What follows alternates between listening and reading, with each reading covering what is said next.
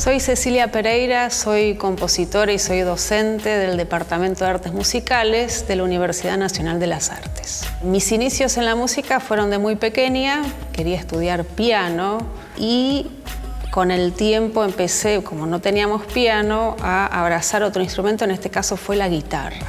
Así que tiempo más adelante, ya más en la adolescencia avanzada, ya estudiando música de forma particular, me anoté en lo que era el Conservatorio Carlos López Buchardo y ahí inicié una carrera de instrumentista en guitarra.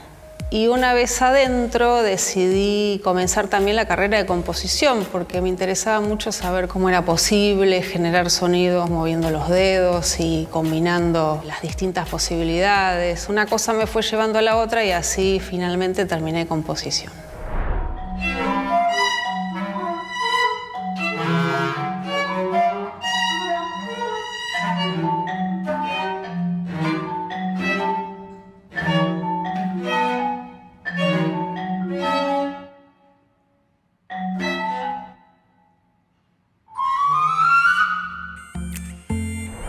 Siendo compositora mujer, eh, voy descubriendo un universo nuevo, ya que eh, siempre estuvo ligada a la composición de una forma hegemónica al género masculino. Entonces voy encontrando quizá nuevas posibilidades, nuevos territorios de conquista y de empoderamiento. No tuve muchos artistas que me hayan inspirado, no específicamente desde el género femenino, sino más bien como hombres. Y es por esa razón que muchas veces en las clases de composición, por ejemplo, y otras asignaturas, trato de poner a la mujer en un rol predominante, un poco para equiparar esta inequidad de género que ocurre muchas veces, por lo menos en la composición musical. Me ha pasado muchas veces de presentar alguna obra en un concierto y ver que por lo general son hombres que presentan sus propias obras. Pero ahora, eh, por suerte, eso está empezando a cambiar y se eh, intenta con mucha fuerza abrir espacio a las mujeres eh, al igual que los hombres.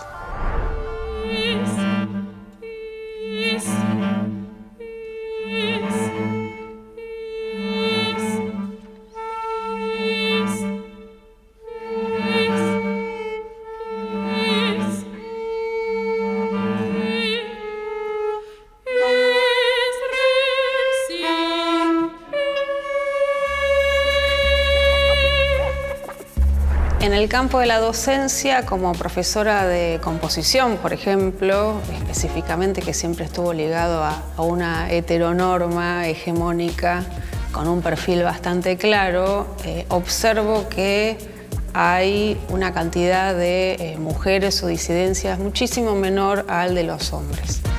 Afortunadamente eso está empezando a cambiar y soy en este sentido una persona que trato de brindar todas las posibilidades para que eso cambie.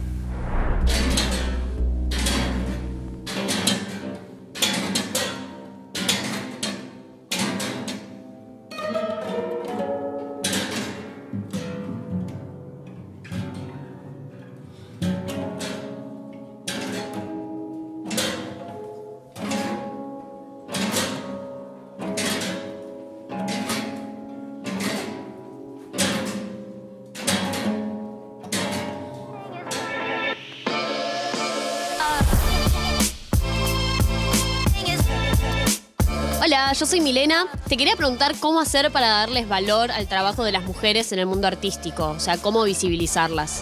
Creo que para valorizar a las mujeres y disidencias tenemos que insistir y no bajar los brazos ante el avance muchas veces de estos modelos hegemónicos que lamentablemente intentan seguir predominando pero que ya se van cayendo. Así que sí, eh, con paciencia, constancia y estando unidas y unidos, yo creo que eh, a un muy largo plazo vamos a conquistar una paridad de género muy clara.